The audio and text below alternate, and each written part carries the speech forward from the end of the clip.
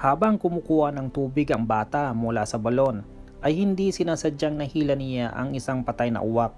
Ngunit sa hindi inaasahan, nabuhay ang uwak at tumalsik ang lahat ng putik sa muka ng bata.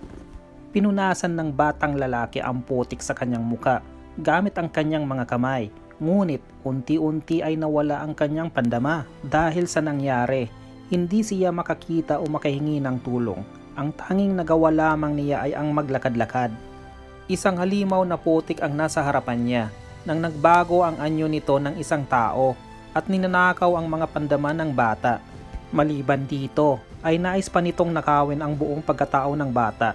Nakita ito ng isang lalaki at agad itong binaril.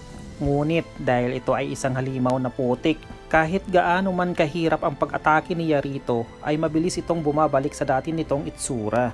Pinutol naman ng babaeng ito ang katawan ng halimaw gamit ang isang kutsilyo ngunit hindi pa rin mapigilan na pahabain ang kanyang mga braso at pagpasok sa pintuan ay agad na kinuha ang sanggol at sabay nilamon ito. Matapos na mabuo ang kanyang layunin ay tumalon ito sa balon. Hindi ito ang unang pagkakataon sa baryong ito na may halimaw na nangunguha ng bata sa kakaibang paraan. Isang gabi, ang batang babae ay lumabas upang bisitahin ang kanyang paboritong kabayo. Sa mga oras na ito, hindi niya napansin na kakaiba ang kabayo. Ang bibig nito ay puno ng sapot ng gagamba. Pagkatapos ay dumura ito ng malaking sapot upang mahuli siya. Habang tumatagal ay mas nahirapan siyang makatakas. Pagkatapos ay gumawa ito ng isang lambat na bumalot sa bata sabay nilamon ito. Ang mga kakatuwang bagay na ito ay nangyari ng maraming beses sa nayon na ito. Kaya ang lahat ay nagmamadali upang maghanap ng isang dalubhasa para lutasin ito. Sa wakas, ang magkapatid na Grimm ay tinanggap ang alok upang puksain ang bayan ng isang bruha. Ngunit sila ay mga mapanglinglang pala. Normal lamang sa kanila ang gumawa ng mga halimaw upang talunin para sa halaga nito. Batay sa lahat ng impormasyon, ibinigay ng mga tao ang kwento ng mga batang misteryosong nawawala ay nauugnay sa kalapit na mahiwagang kagubatan. Sa isang abandonadong tore sa gubat, mayroon isang reynang mahaba ang buhok na naninirahan dito. Sinasabing maraming bagay ang ginawa niya upang mapanatili ang kanyang kagandahan habang buhay. Subalit pagkatapos ng isang sakuna, siya ay ang lahat ng tao ay napatay. Ang katawan niya ay itinago sa tuktok ng palapag ng tore at ito ang naging sanhi ng mga kakaibang bagay. Umakyat si Jacob sa tore habang hinihila siya ng kanyang kapatid gamit ang isang muton.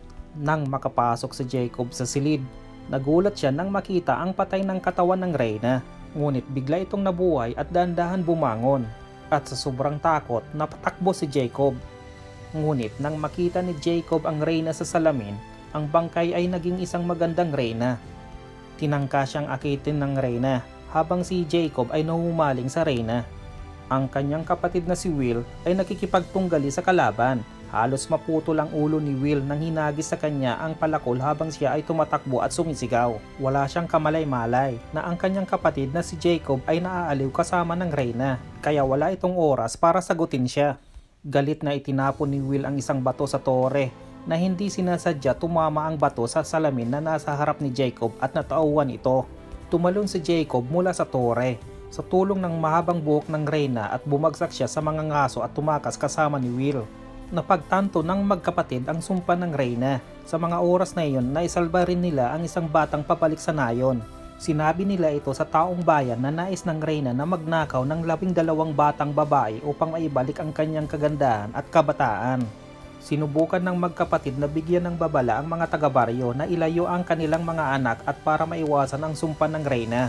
Ngunit biglang dumating ang hari at ang kanyang mga kawal Inaresto nila ang dalawang magkapatid at sinabing sila ay mga mangluloko at wala silang magagawa sa sumpa. Sa gabi, inutos ng hari na sunugin ang kagubatan kasama ang magkapatid.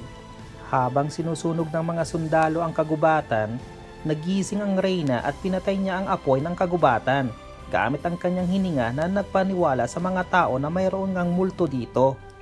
Nakaligtas ang magkapatid at nagtungo sila sa tore upang pigilan ang reyna mula sa pag-inom ng dugo ng labing dalawang biktima. Ngunit dumating din ang mga kawal. Ang magkapatid ay walang pagpipilian kundi ang labanan sila. Pinatay ni Jacob ang lalaking utusan gamit ang palakol habang si Will ay nakikipaglaban sa isa pang sundalo. Itinarak ni Will sa hari ang poste ng watawat at hindi sinasadyang tumilapon si Jacob sa tuktok ng tore. Lakas loob na hinagis ni Jacob ang palakol sa mga ngaso at Reyna, subalit nasalo ito ng Reyna, kaya't hindi niya napigilan ang mga ito. Nais tapusin ng Reyna ang ritual sa lalong madaling panahon. Kung kaya ay sinampa niya ang kanyang braso at pinalipad si Jacob sa pader sa puntong iyon. Sinubukan ni Will na makaakyat sa tore sa pamamagitan ng isang lubid. Pagdating niya doon nang aatakihin niya ang Reyna ay hindi na nagawang balaan ni Jacob ang kanyang kapatid, kaya agad na itong sumailalim sa kontrol ng Reyna. Pareho silang nawalan ng kontrol at nagsimulang atakihin ang bawat isa at sila ay nahulog sa kaguluhan. Sa mga oras na iyon, natapos na ng Reyna ang pag-inom ng dugo. Ang kabaong ay bumuka matapos sambitin ng Reyna ang Maika. Naglalaman ito ng isang batang babae bilang kasangkapan. Unti-unti ay nanumbalik ang kanyang kabataan at naging isang napakagandang babae na may buhay na walang hanggan. Kasabay nito, ang magkapatid ay lumilipad pa rin sa hangin. Handang isakripisyo ni Will ang kanyang sarili para sirain ang Reyna. Sa kasamaang palad, hindi sila hinayaan mamatay ng Reyna sa ganoong paraan. Hindi lamang inakit ng Reyna ang naghihingalong lalaki, ngunit sinaksak din ito sa puso habang gamitin ang maika upang gawin bagong utusan. Kung gusto mo ng bago, kailangan mong itigil ang paggawa ng isang bagay na nakaraan. Nang sila ay malapit ng maghalikan. Galit na binasag ni Jacob ang salamin nang lalaman niya ito ang kainaan ng Reyna. Naghiwa-hiwalay ang balat ng Reyna, kasabay ng nabasag na salamin. Bumalik ang alaala ng mga ngaso. Tumalon siya mula sa tore dala ang salamin bilang pagiganti sa Reyna. Kalaunan, napatay nila ang Reyna. Ang tore ay unti-unting gumuho. Sa kabutihang palad, nakaligtas si Jacob. Ngunit ang nagayumang si Will ay tumalon kasama ang mga ngaso. Ang mga ngaso ay nagsabi na ang pulang araw ay hindi pa nagtatapos. Sa madaling salita, ang sumpa ay maaaring mawala sa isang halik ng totoong pag-ibig. Sa makatuwid, naglakad si Jacob patungo sa babae na nakahiga sa kabaong at ginising niya ito sa halik. Nakatulong ito na mawala ang sumpa ng Reyna at nabuhay muli ang labing isang batang babae. Kung ang isang halik ay nagpagaling sa lahat ay siguradong maililigtas din ito si Will. Ang babaeng hinalikan ni Jacob ay siyang humalik kay Will upang gisingin siya. Sa paghahanap ng taong bayan sa magkapatid at sa mga bata ay hindi sila makatpaniwala na sila ay nagtagumpay.